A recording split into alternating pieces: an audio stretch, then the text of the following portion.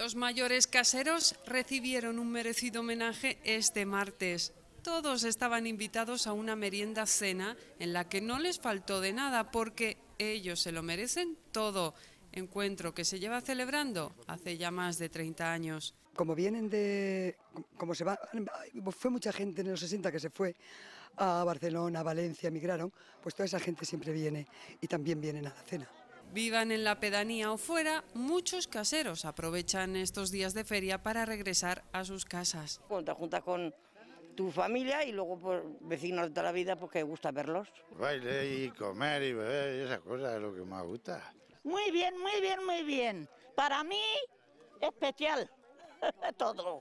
Porque hay de todo, lo primero. Y reunión de guapas, hermosas y de todo. Entre los homenajeados también se encontraba Santiago García. Desde que comenzaron las fiestas, no para de recibir muestras de cariño. Nació en el 22, enviudó a los 68, tiene siete nietos y quiere conocer algún bisnieto. Pues bien, gracias a Dios la, Carmen, ella que, se ha empezado a, esto mi chico, yo, no quería, pero él dice, sí, sí, sí, vas a ir. Dice que ya voy a ser lo último que voy a hacer ya, porque soy muy mayor ya.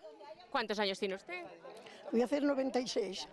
Una merienda cena en la que hay tiempo para todo, para hablar, para reír, para recordar y para recoger propuestas. Van a decir lo que les gusta, lo que no les gusta, lo que esperan del ayuntamiento, lo que estás haciendo bien, lo que no les gusta tanto, que de todo hay. Y bueno, pues es muy interesante hablar con ellos y luego pues las vidas que tienen, que son ya estas edades muy interesantes todas, porque ya tienen una, una trayectoria vital interesante, sí. Y después de la tortilla, de los langostinos, del queso, de las aceitunas, de la empanada, de las patatas, de la tarta y demás, las protagonistas se marcharon a sus casas con un regalo que seguro van a cuidar y a regar como solo ellas saben hacerlo.